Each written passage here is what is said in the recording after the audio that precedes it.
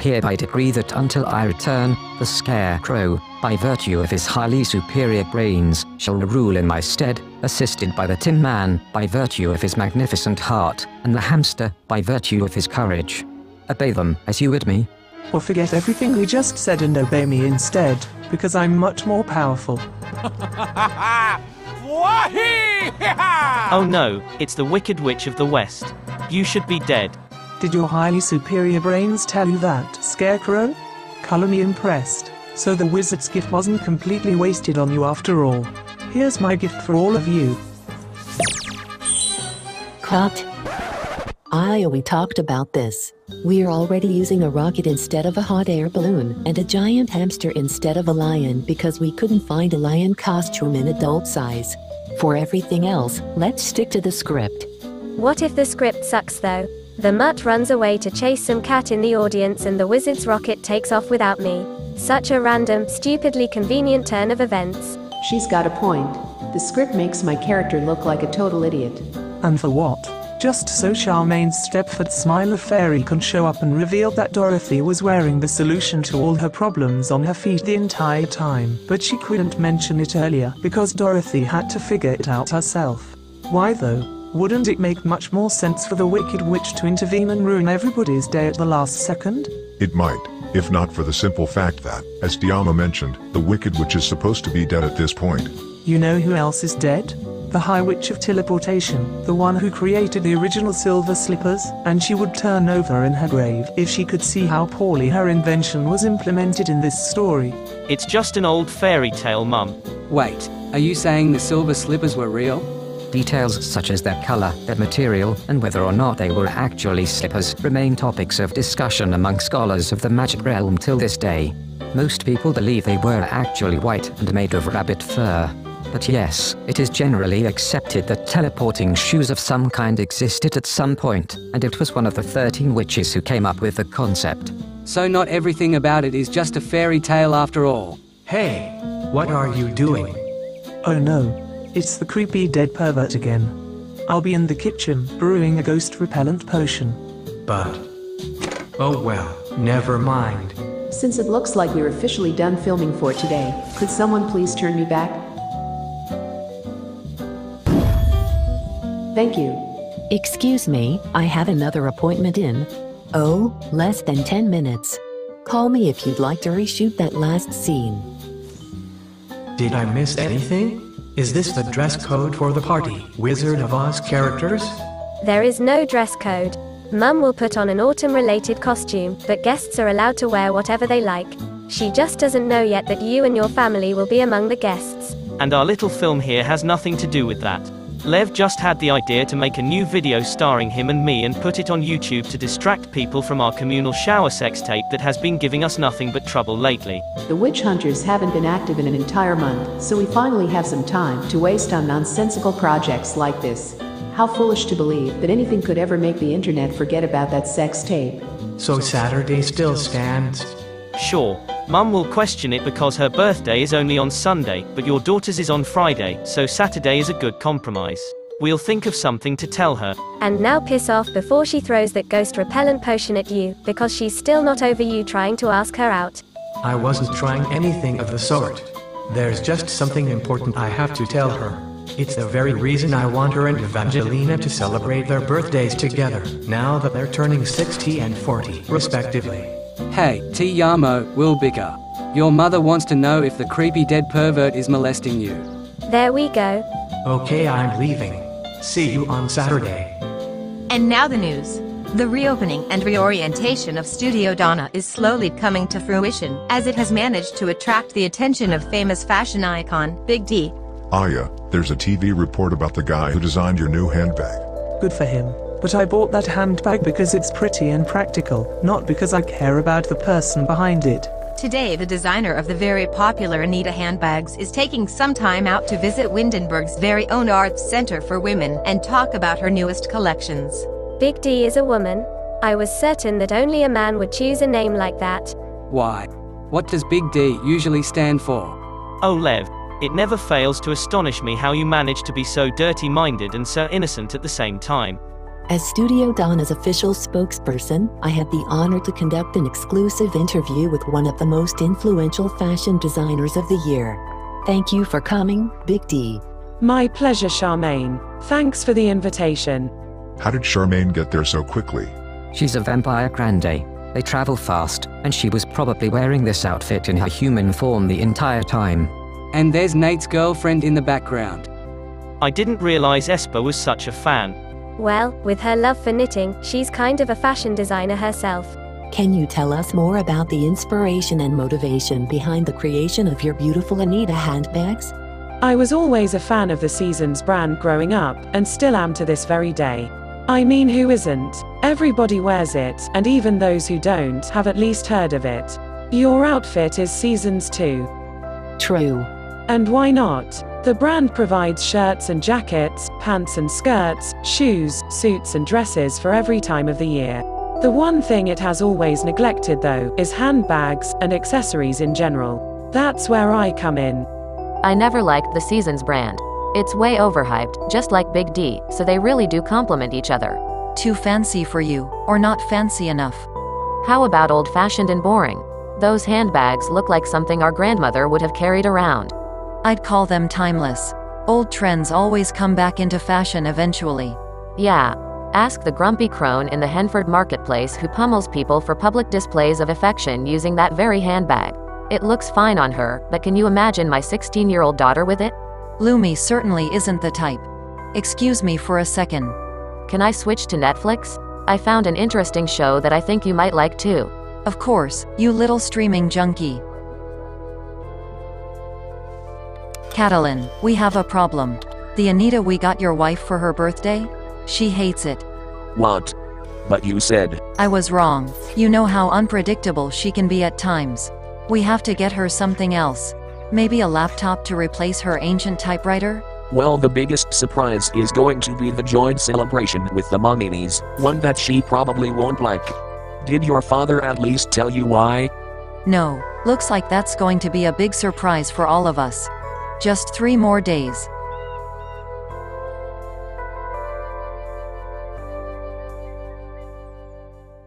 Tiamo help. I don't fit into my pirate costume anymore. What am I supposed to do about that? Use magic to make the clothes bigger, or my belly smaller. I prefer the second option. Too bad it's not the kind of belly that you can easily get rid of. Right, Loki? Is anyone else worried about Leviathan? He's been unusually quiet lately, less keen on fucking and his morning jogs, and now he thinks he's gaining weight, but I didn't notice anything. You will eventually. In fact, you'll be amazed at how much weight he'll gain within the next seven months. It might be stress induced. The witch hunters didn't go easy on him when they had us captured at the old silver mine in Port Promise. Experiences like that leave a mark. You think that's the reason? And you know very well that it isn't, so just drop the innocent act and tell them the truth already. Leviathan is strong. He'll get over it, and I'm sure tonight's party will lighten up his mood. Speaking of which, I should go now, because I promised to pick up some of our guests. Take your time. Mum told everybody when to come to All Hags Cemetery, but that doesn't mean she herself will be ready by then. Well, we are ready. Should we go ahead and see if the guests your mother doesn't know about have arrived yet? Good idea. Let me just get my present. My present for all of you is knowledge that I can't share because I can't speak. Sucks to be the only one who's paying attention. I really don't see what the problem is. You fit into the costume perfectly, and you look the same as usual. So you're saying I've always been fat? No. Which means I need bigger clothes. Because we're going to a birthday party tonight, the Popescus will be there, and Stelmaria told me her sister is a journalist for some kind of gossip rag in the magic realm. What if she writes an unflattering article about my physique? You're not fat, Lev. No one is going to write an article about that, and even if they did, since when do you care what others think? Body shaming is for losers anyway, and as I said, your costume fits you perfectly. Now let's see how Mum is doing with hers. Loki bitch and I are going ahead. Don't make your guests wait too long, Mum. I won't. Just five more minutes. Those were the longest five minutes of my life. But now the party can begin. Leviathan, I'm going to need proper autumn weather for my grand entrance.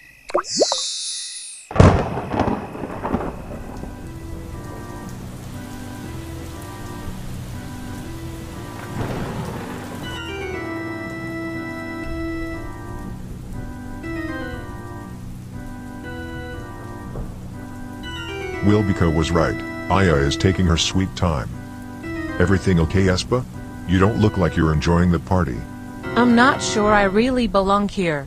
I'm friends with Wilbica, but barely know her mother, and I don't know those people at all. Me neither, but unlike them, we were actually invited by Aya, so I wouldn't worry too much. After all, you're fledgling, I'm a pleach freak, and if she has nicknames for us, she probably likes us, in her very own strange way.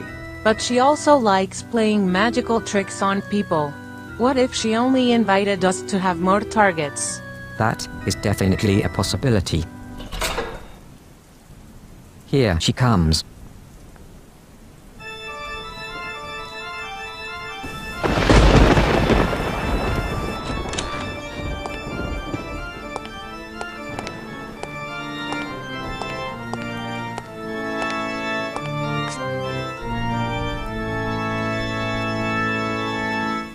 Kneel down, underlings, the Queen of Autumn has arrived. What are they doing here? See? It's not just your birthday, but my mother's too. We're celebrating together. Isn't that great? No, it's awful. Whose stupid idea was that? I thought you'd warm up to them a little after Stelmaria and Catalin helped me get rid of the Wraith disease. You'll feel better after blowing out the candles, oh great Queen of Autumn. Charmaine made the cake, and we're all curious to find out how it tastes. Start without me. I really have to pee. You made this, Charmaine? I didn't realize vampires liked cake. This one is an exception. My own secret recipe, a zombie cake with plasma fruit and other ingredients that both vampires and non-vampires can enjoy. And dogs too. Don't forget the dogs.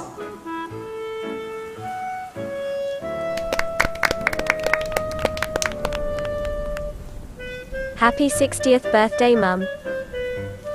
Oh look, another candle. A coconut scented one. Finn made it. I only added a spell. You should light it right away to find out what it does. Open mine next.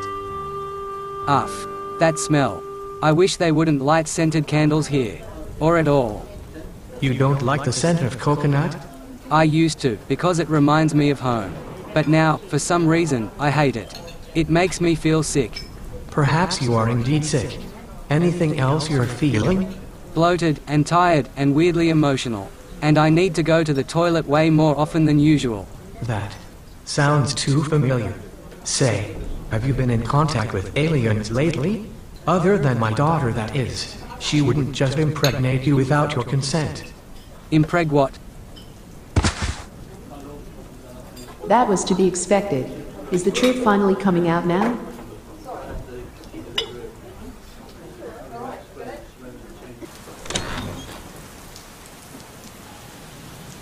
Your costume may protect you from prying eyes, but not from my sharp teeth. What leads you here, Lorenzo? Get lost, bitch. This has nothing to do with you. It's my wife's birthday, and I brought her a present, that's all. Without any ulterior motives, I assume. It's nothing nasty, if that's what you're worried about. Why would I want to make Aya unhappy on her birthday? Because your mere existence makes her unhappy on every other day of the year, too. Today is no such day. There's only one person in that room that I have a bone to pick with, and that's Loki. What's your problem with Loki? Is it the competition you don't like? Well, being a chess master seems to run in the blood. But you wouldn't want to cut down your own family tree, would you? What's that supposed to mean? Loki is your grandson from the future. Tiamo is the father, and the merman Leviathan is the mother, so to speak, accidentally impregnated while he was a woman. This means that both Leviathan and Loki are part of the family now, and I am their familiar, so to get to them, you'll have to get past me first. Bitch, I don't know what they put in your food today, but you're not making any sense. You know what wouldn't make sense if I was making this up? Loki using a guardian charm to find Leviathan without the latter's blood. Impossible. Exactly, unless they're closely related, and Loki used a modified sample of his own blood. And last month, he turned into a ghost around the time Leviathan was being mistreated by witch hunters. I bet my Technicolor ass that, if Leviathan had died that day, Loki would have faded out of existence. But. Oh.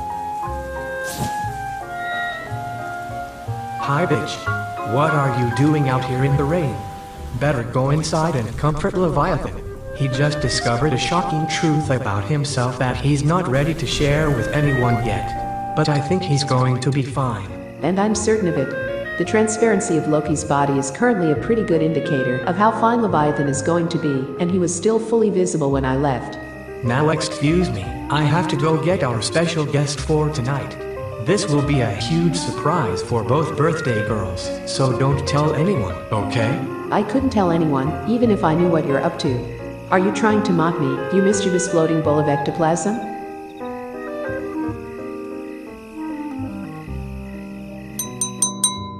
Attention, please. It's time for the birthday girls to give their speeches. Speeches? What speeches? No one told me anything about that. And no one told me I'd have to see your mug today, but shit happens. You go ahead then. I still have to think about something to say. But I don't know what to say either. Perhaps you could start by explaining your outfit choice. If you insist. Hey, is this another present for Mum? So, my outfit choice. Alright. Why am I dressed as the Queen of Autumn? Well, not only was I born in this season, but it kept playing an important part throughout my life. My ex-husband was born in October, and lost both his parents shortly before his 18th birthday. My own mother abandoned me and my father in early September 41 years ago. Around the same time I stumbled upon the magic realm and became a witch nine years later. And I still have high hopes that my son and his fiancée will get married this year in November. No, don't listen to her.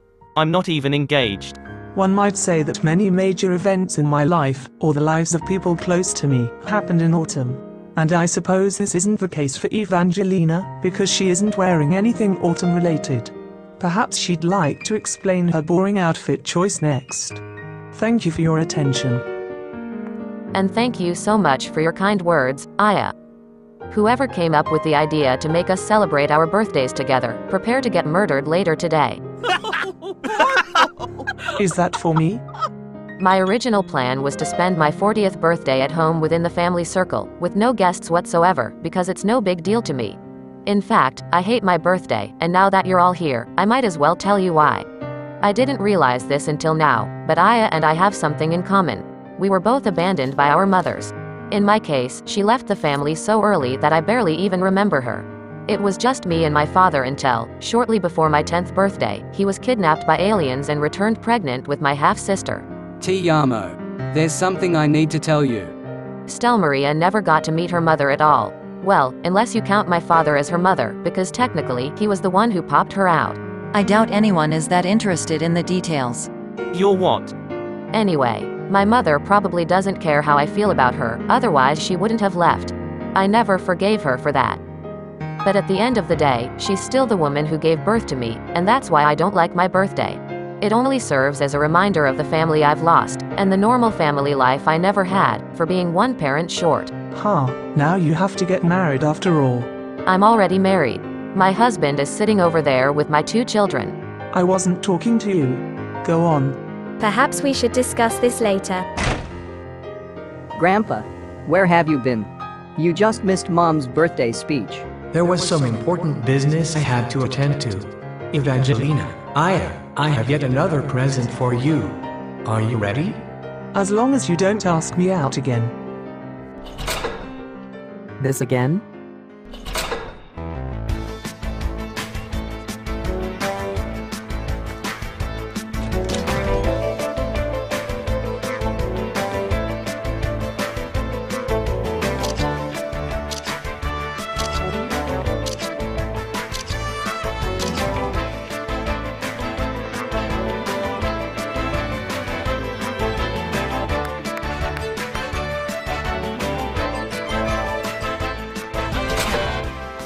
Hi there, party people.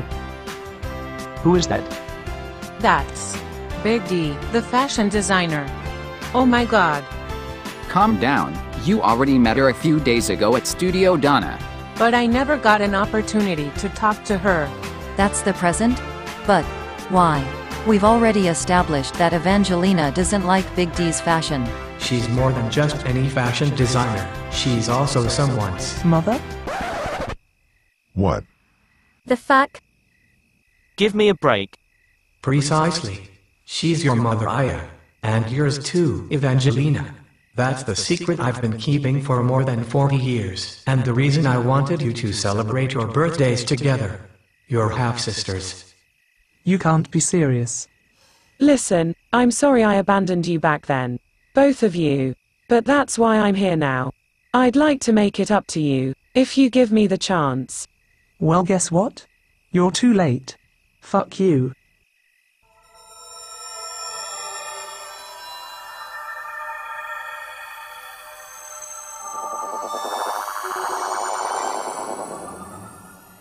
That was a rather unexpected turn of events.